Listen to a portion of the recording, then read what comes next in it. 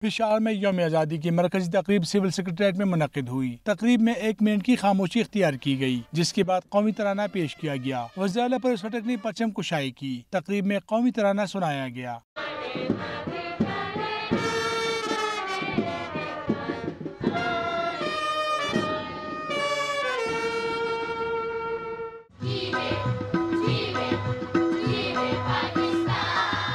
اس موقع پر ملی نغمے بھی گائے گئے۔ خٹک اور محسود داس نے تقریب کو چار چاند لگا دیے۔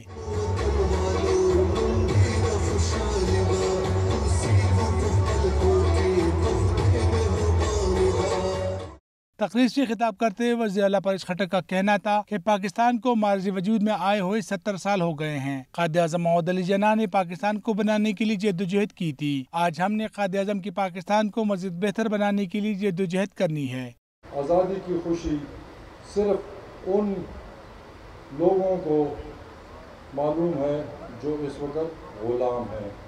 جو غلامی کے دور میں رہ رہے ہیں، ان کو پتہ ہے کہ آزادی کیا ہوتی ہے۔ ہم تو ایک آزاد ملک میں پیدا ہوئے تھے۔ اب ہم سب نے مل کر اس کو پاکستان کا، پاکستان کو قائد اعظم کا پاکستان بنانا ہوگا۔ اس موقع پر کبوت اور غبار بھی فضا میں چھوڑے گئے۔ یوم آزادی کی دوسری بڑی تقریب فرنٹیئر کانسٹیبلری کے ہیڈ کوارٹر میں ہوئی۔